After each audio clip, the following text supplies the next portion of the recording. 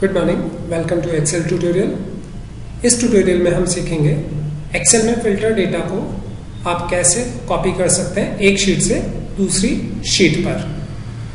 Let's start इसके लिए यहाँ पर डेस्कटॉप पर मैंने एक स्टूडेंट डेटा नाम से एक्सेल फ़ाइल बना रखी है। इस फ़ाइल को जस्ट मुझे डबल क्लिक करके ओपन करना है।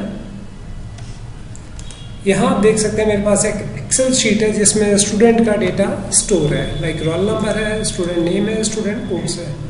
मेरे पास यहाँ ट्वेंटी फाइव स्टूडेंट्स का डेटा स्टोर है, जो कि अलग अलग प्रोग्राम में रजिस्टर्ड है। जैसे आप देख सकते हैं one zero zero one B C A में है एम सी ए में है बी बी ए और एम बी ए प्रोग्राम्स में इस तरह से मेरे पास यहाँ डेटा स्टोर है।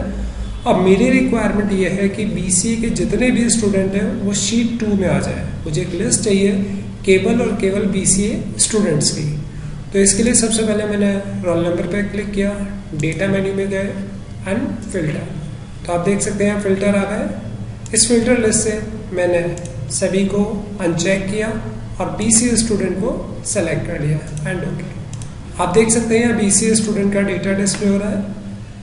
इसके बाद ये डेटा मुझे शीट टू पर चाहिए तो यहाँ से आप आ, क्लिक करें और ड्रैग कर दें। तो ये आपका सारा डेटा सेलेक्ट हो जाएगा। इसके बाद आपको कंट्रोल सी को प्रेस करना है तो आपका डेटा कॉपी हो जाएगा और आप शीट टू पर आकर इस डेटा को पेस्ट कर दें with the help of control V तो आप देख सकते हैं, यहाँ जो डेटा आ रहा है, वो केवल और केवल बीसीए स्टूडेंट्स का है। सेम मेरी रिक्वायरमेंट ये है कि बीबीए का जो डेटा है शीट वन से शीट थ्री पर आ जाए। तो इसके लिए वापस से हम फ़िल्टर चेंज करेंगे।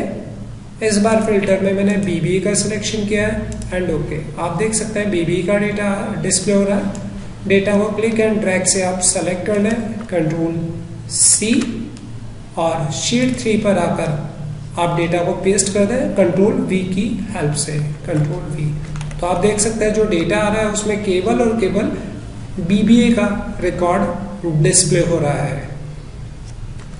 इस वीडियो के अंदर आपने देखा कि किस तरह से आप आपके पास जो डेटा है, उसमें से सेलेक्टेड डेटा को कैसे एक शीट से दूसरी शीट पर डिस्प्ले कर सकते हैं। अगर आपको ये वीडियो अच्छा लगा तो इस वीडियो को आप फेसबुक ट्विटर ब्लॉगर पर शेयर कर सकते हैं।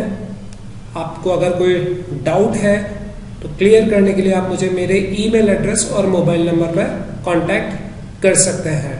फाइनली चैनल को सब्सक्राइब करना ना भूलें। Thank you for watching my video.